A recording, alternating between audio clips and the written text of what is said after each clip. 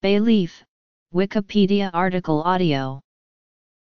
Bay leaf refers to the aromatic leaves of several plants used in cooking. These include The leaves contain about 1.3% essential oils, consisting of 45% eucalyptol, 12% other terpenes, 8 to 12% terpinyl acetate, 3-4% sesquiterpenes, 3% methyl eugenol, and other alpha and beta pinenes, phellandrene, linalool, geraniol, and terpineol, contains lauric acid also. Chemical constituents Taste and aroma If eaten whole, bay leaves are pungent and have a sharp, bitter taste. As with many spices and flavorings, the fragrance of the bay leaf is more noticeable than its taste.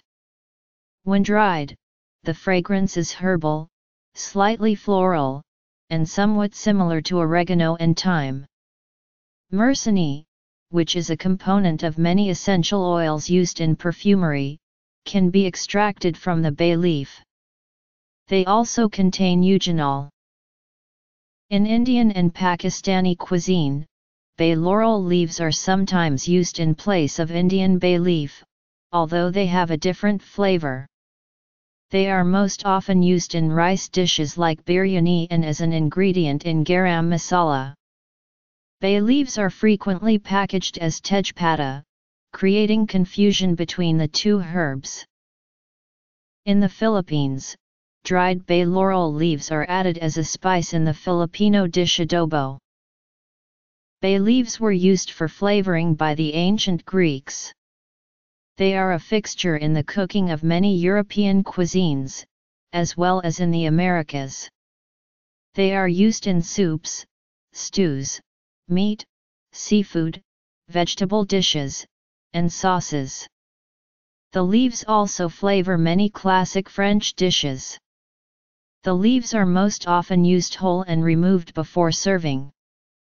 Thai and Laotian cuisine employs bay leaf in a few Arab-influenced dishes, notably massaman curry. Bay leaves can also be crushed or ground before cooking. Crushed bay leaves impart more fragrance than whole leaves, but are more difficult to remove, and thus they are often used in a muslin bag or tea infuser. Ground bay laurel may be substituted for whole leaves, and does not need to be removed, but it is much stronger. Uses Bay leaves can also be used scattered in a pantry to repel meal moths, flies, cockroaches, mice, and silverfish. Bay leaves have been used in entomology as the active ingredient in killing jars. The crushed, fresh, young leaves are put into the jar under a layer of paper. The vapors they release kill insects slowly but effectively, and keep the specimens relaxed and easy to mount. The leaves discourage the growth of molds. They are not effective for killing large beetles and similar specimens, but insects that have been killed in a cyanide killing jar can be transferred to a laurel jar to await mounting. There is confusion in the literature about whether Laurus nobilis is a source of cyanide to any practical extent, but there is no evidence that cyanide is relevant to its value in killing jars. It certainly is rich in various essential oil components that could incapacitate insects in high concentrations. Such compounds include 1,8 cineol, alpha-terpinyl acetate, and methyl eugenol. It also is unclear to what extent the alleged effect of cyanide released by the crushed leaves has been misattributed to Laurus nobilis in confusion with the unrelated Prunus laurocerasus, the so-called cherry laurel, which certainly does contain dangerous concentrations of cyanogenic glycosides together with the enzymes to generate the hydrogen cyanide from the glycosides if the leaf is physically damaged. Safety some members of the laurel family, as well as the unrelated but visually similar mountain laurel and cherry laurel, have leaves that are poisonous to humans and livestock. While these plants are not sold anywhere for culinary use, their visual similarity to bay leaves has led to the oft-repeated belief that bay leaves should be removed from food after cooking because they are poisonous. This is not true bay leaves may be eaten without toxic effect. However, they remain unpleasantly stiff even after thorough cooking, and if swallowed whole or in large pieces, they may pose a risk of harming the digestive tract or causing choking. There have been cases of intestinal perforations caused by swallowing bay leaves, so unless the leaves in the recipe have been ground they should be removed from the food before serving, otherwise, the risk of a surgical emergency remains.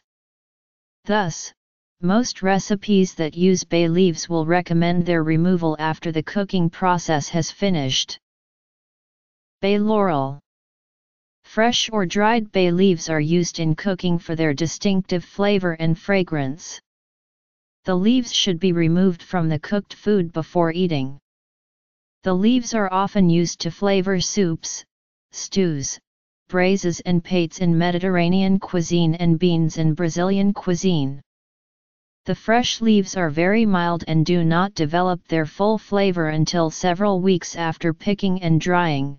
California bay leaf The leaf of the California bay tree, also known as California laurel, Oregon myrtle, and pepperwood, is similar to the Mediterranean bay laurel, but has a stronger flavor.